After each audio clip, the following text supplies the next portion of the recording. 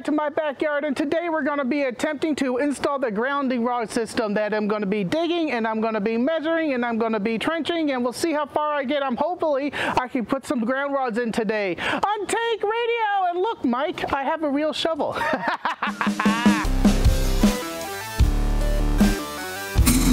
Before we go ahead and get started, I'm going to show y'all um, what the electrician did. I had an electrician came out and install and correct my ground rod system. So let's go ahead and take a quick look. Coming from the meter of the house, out of the wall, there's this new black line that runs down into the ground rod down there. And the second line runs through the fence. With today's grounding code, we need two ground rods installed, one at the base of where all the power coming in close to your meter, and then the second one six feet away. So there's my fence line and it goes to right there. so let's go ahead and do some measuring. Oh, wow. And I get to play with spray paint. quick update. After I posted my last video last month, unfortunately, sorry Thanksgiving and everything, a number of people, a number of y'all uh, reached out to me and we talked about uh, Nestor and what they recommend for installing grounding rods. We came to the conclusion that grounding rods need to be installed double their length apart. So I have 8 foot grounding rods and I'm going to install them 16 feet apart. So the math I did last time was a little wrong. Well, it was correct, but it was using the wrong principles. So we're going to go ahead and remap out my backyard and using this uh, first uh, right angle corner here, uh, I did a quick some math that we're using the Pythagorean theorem. that is fun. I came out to the first grounding rod after coming up to this corner behind me is going to be installed 15 feet in that direction. So let's go ahead and figure that out. So we got sprinkler head here. My sprinklers are running around there to this junction point here and that means my first ground installation is going to be right here. Jeez, man, this ground is hard. I should have done this weeks ago when it rained for like three days straight. Oh well, what are you going to do? Next 15 feet this way. I'm hoping that it's going to be off my deck. Here we go. Two meter, 12 feet, 14 feet, 16 feet to the other side of my deck that is just pushing it a little bit, but I think we're gonna be good and I'm gonna go ahead and mark the next one right there. Of course, there has to be another sprinkler line right here. Another 16 feet, 14, 15, 16. Why does it have to be next to a sprinkler? Again, all right, coming up to another corner and here we go. It is, that's five, almost five and a half feet again. I'm gonna say that's five and a half feet to keep our math simple. So that means a 15 feet that way to our next line. And that's where, and thankfully, I had electrician install the grounding rod over there and we might come up on it on 15 feet. Let's go ahead and cross our fingers. I'm gonna be ecstatic if this works out. Here we go, here we go. Eight feet, nine feet, 10 feet, 12 feet, 14 feet, 15 feet, the ground rod is a little less than 18 feet away. I think that's close enough.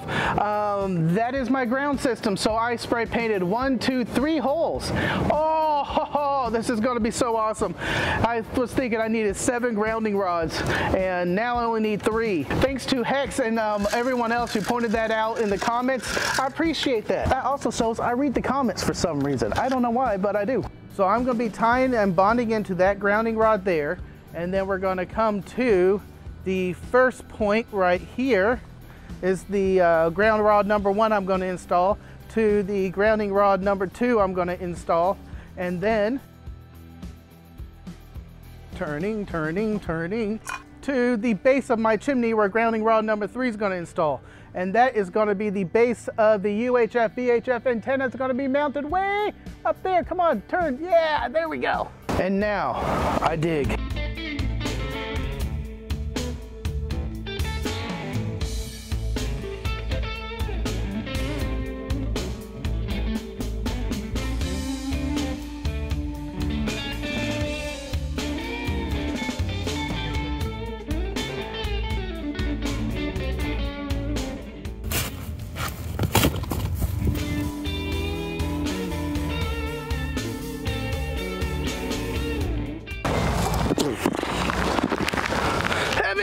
hole number one done. I did find the sprinkler line, but um, I didn't nick it too bad, so that's good.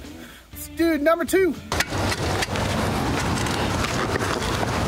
Woo, that's hard. Oh, there are rocks here. I forgot about that.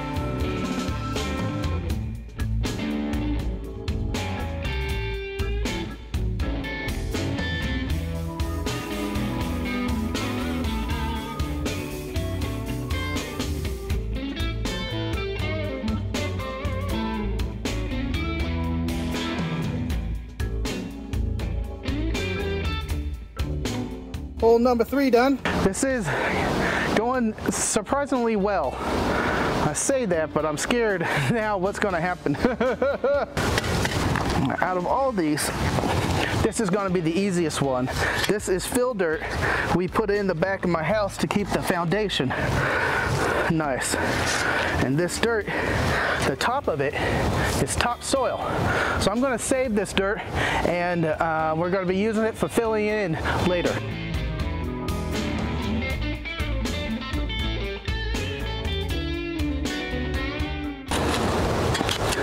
Sprinkler line there again. All three holes I found this damn sprinkler line. God bless it. There it is, hole number three. Next, we're gonna trench this back corner of the house. Yay!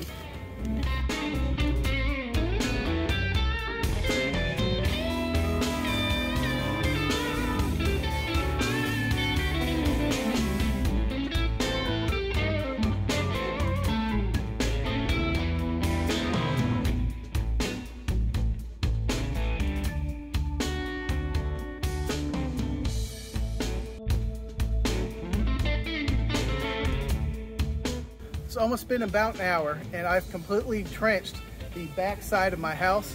I'm gonna take a quick break and run up to Lowe's and see if I can rent the hammer rotary drill press thing and the drill bit to run the ground rods in and buy the ground rods. It's coming together. Woot! I might do this in one day. I'm gonna go to Home Depot. Home Depot has the drill, but I don't think they have the grounding rod drill bit. We're gonna go ahead and check that out. And also, I'm check. Look at this hat, man! The Tank Radio hat. Go ahead and head over to Gigaparts and pick up yours today. I love this hat. I've been wearing it all day. well, I took a little break from digging, um, and I went to Home Depot. Two Home Depots, three different runs, and a Lowe's to um, eventually rent this guy. Um, the issue was trying to find this guy. Lowe's said they did tool rental, but that's the only location they have. It's down in Houston. Houston, and I'm in Dallas. Come on, Lowe's. But they did have this for rent, but uh, Home Depot doesn't, so I had to, had to buy that guy. And what I'm going to use this for, this is a rotary drill hammer. I'm going to use this to drive the grounding rods all the way into the ground, plus a little bit of water, and I got a ladder out to help. Um, not quite right. Oh, it should be fine. Yeah, it should be fine. Um, let's go ahead and get started.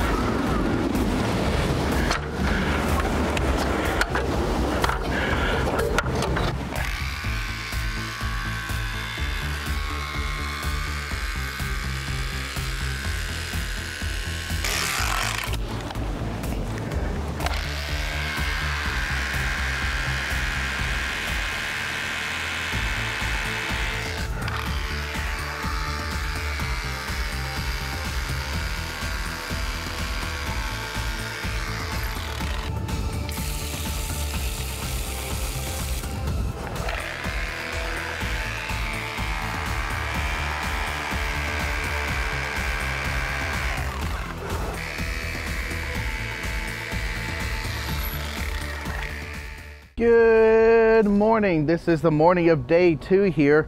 I'm going to give y'all a quick recap as I'm feeding Bailey, my cat in the backyard. And this time of year, man, the trees really drop a lot of leaves. Uh, the trenches I dug yesterday are pretty much leaved over. And then yesterday I kind of stopped filming. Look at that.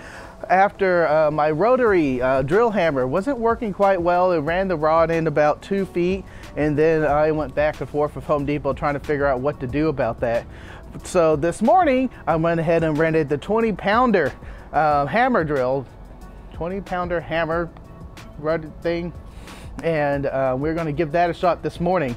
But look at this. Imagine waiting one week. How many leaves will be in that trench? the other thing I've got to do today is trench this back part. So I'm gonna go ahead and start with the drilling because um, I rented that for four hours. If there's any issues, I am going to deal with that first. And since it's first thing in the morning, I got a fresh brewed, bottle brewed Coke. When in doubt, more power.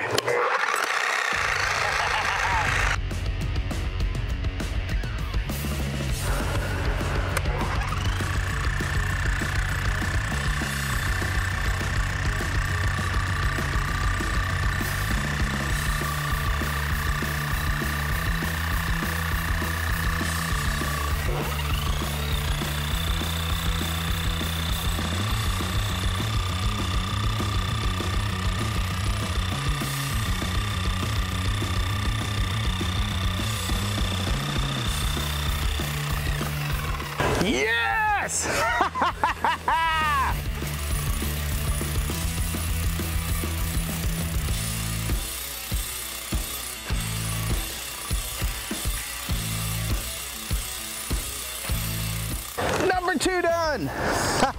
I love this.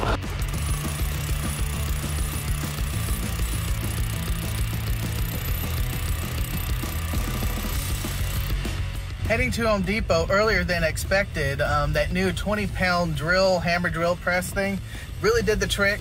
Um, I got all three ground rods in there. However, when I was counting the locking lugs for the ground rods, I counted three, one for each ground rod I was installing.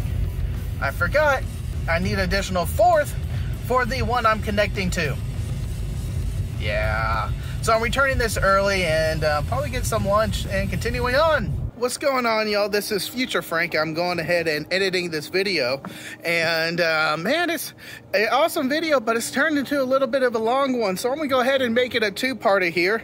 Man that sun is right behind me. There we go. I think this will be a good point to end part one here.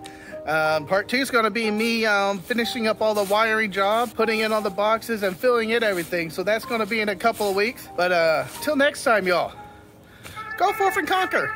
Uh, I took a good break from digging and I went to Home Depot and I started to try to rent this guy and get the drill bit and that's a long story in its own right.